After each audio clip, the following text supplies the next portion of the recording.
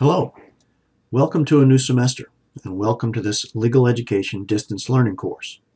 My name is Loy Ehlers and I am the Legal Education Department Head.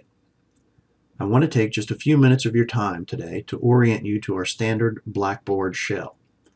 The Blackboard shell I'll be using today may not be from your particular class, but the elements we will be reviewing are common to each and every seated and distance learning course we offer in our department.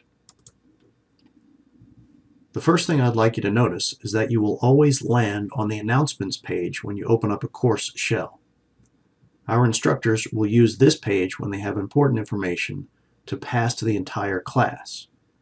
Here, you will find a widget that allows us to post announcements using the Remind messaging app, as well as links that allow you to sign up for or sign into Remind.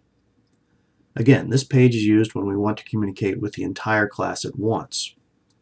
If we need to speak with you or pass information on an individual basis, we'll use an alternate means to contact you, like your college email address or individual remind messages. You can find more information on communicating with the instructor in this link. Next, I want to draw your attention to the rest of the links along the left-hand side of your screen.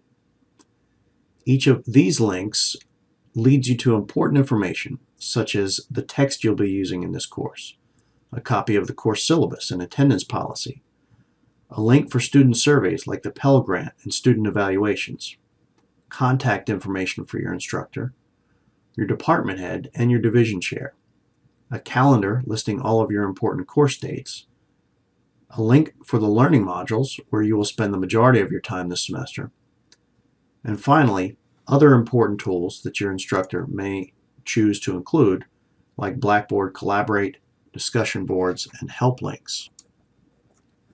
I encourage you to spend some time today going through each of the available links in this course and familiarizing yourself with what each one offers. You will find other helpful explainer videos along the way to aid you in your understanding. You may want to keep a pen and paper handy to write down questions to ask your instructor as you go along. Once you have gone through all of the information in this top section, you're ready to move on to the Learning Modules link. Again, this is where you'll spend the majority of your time this semester as it contains all of our co content delivery, assignments, and exams. When you open up the Learning Modules link, start with the Welcome module. This module will contain some helpful information about how to stay on track and be successful. Again, I want to welcome you to this new semester and leave you with one last little piece of advice that will be important to your success this, this semester. Always remember that just because you're taking this class online doesn't mean that you're taking it alone.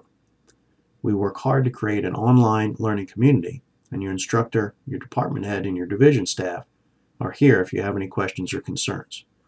Good luck and have a great semester.